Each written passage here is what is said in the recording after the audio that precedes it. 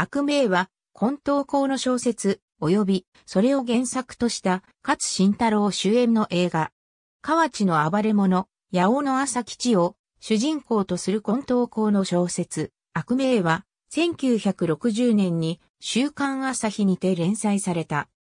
同誌の編集長が大英の監督、田中徳造の実刑だったことから、大英で1961年に映画化され、朝吉を勝慎太郎、弟分のモートルの帝を、田宮二郎が演じた。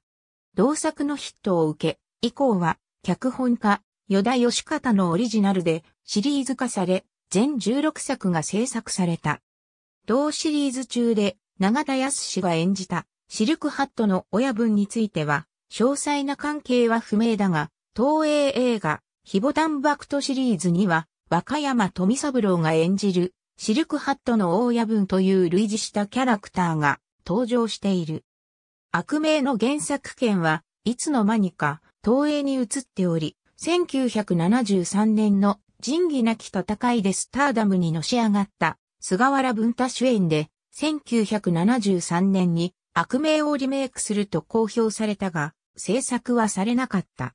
また、2001年に再び映画化され、朝吉役を的場浩二、帝役を東幹久が演じた。2002年には舞台版が制作され、勝ちの息子の狩龍太郎が朝吉役、帝役を堤大二郎が演じた。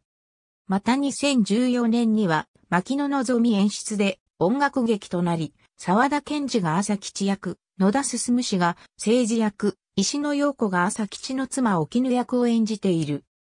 生まれ故郷の河内を追われた木流しヤクザ八尾の朝、吉とその弟分で、ハンチング棒にスカジャン、話の節々に英語を挟みインテリブルチンピラの政治とが彼らの放浪先、出所先で暗躍するヤクザ、偽善者、権力者を退治する人形映画。ありがとうございます。